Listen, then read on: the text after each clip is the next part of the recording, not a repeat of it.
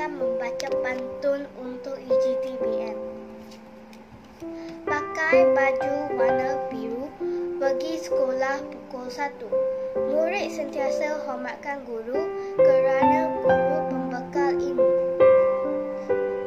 Jangan pergi mandi di lombong, Ahmad dan kakak sedang mencuci. Jangan suka bercakap bohong,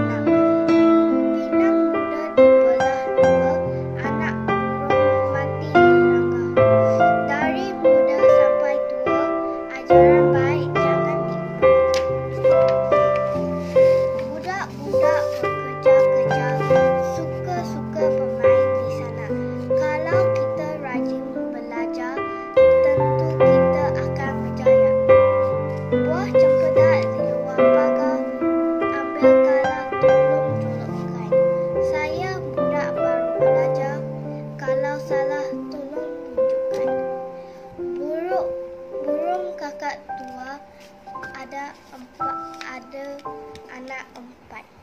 Nenek sudah tua, jalan pakai tongkat. Lompat si katak lompat, lompat dalam perigi. Cepat adik cepat, pergi mandi, cuci gigi.